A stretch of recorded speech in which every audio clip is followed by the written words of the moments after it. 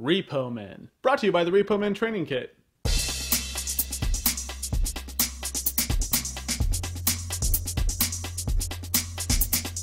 Repo Men is kind of like Repo the Genetic Opera, but kind of not. Okay, so in Repo Men, we live in a world where for the price of a couple of houses and an APR that makes a shitty Sears charge card look like Capital One gold, you can replace your shitty dying organs with nice shiny synthetic ones. Now, the bummer is if you fall behind on your payments, the union will send a Repo Man to knock at your door and reclaim their property by ripping it out of you.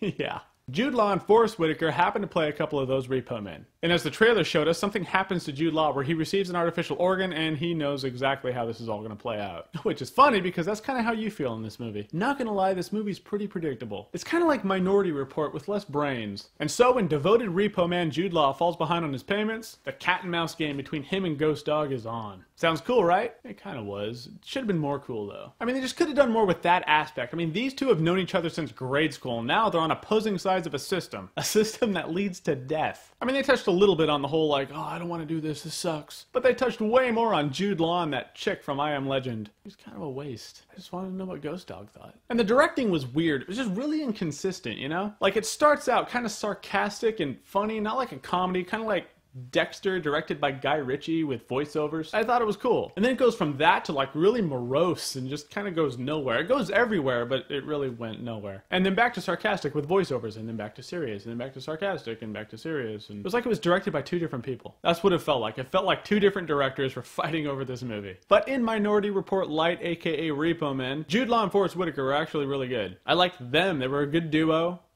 It worked. But it goes to show you that good acting within an average movie just comes out to good acting within an average movie. Doesn't make the movie any better. But at the end of this movie, there's this one fight scene between Jude Law and a few guys that really reminded me of that slow-mo knife scene from V for Vendetta. But it was badass. Because it involved knives and hacksaws and hammers. It was your basic death by the content of your dad's toolbox scenario. If that's basic. And Jude Law's wife was, yeah, useless and bitchy. Like, what's your problem? I mean, it's like, lady, look, yeah, your husband rips out people's organs, leaving them twitching and dying in a pool of their own blood. Sure, but come on. I mean, have a heart. Oh! Oh, yeah, that was a heart joke. And by the end of this movie, I mean literally by the last frame, I liked the movie enough, but it's not enough for me to sit here and say you need to see this movie. I mean, it had solid acting and it was a cool premise that was mixed with wasted potential, inconsistent directing, and useless moments, which I suppose is kind of the same as wasted potential. Number system, it's about a 6 out of 10. Maybe 6.5 because of the very end, but that's my final answer 6.5 out of 10. Hey, let's face it, there's a reason these movies come out in March. And as a reminder, I'm still collecting donations for the Leukemia and Lymphoma Society. The link is in the sidebar if you want to make a donation. Even $1 is well appreciated. It all goes towards a very good cause, curing leukemia and lymphoma.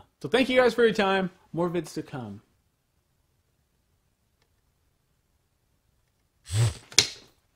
Fucking pencil.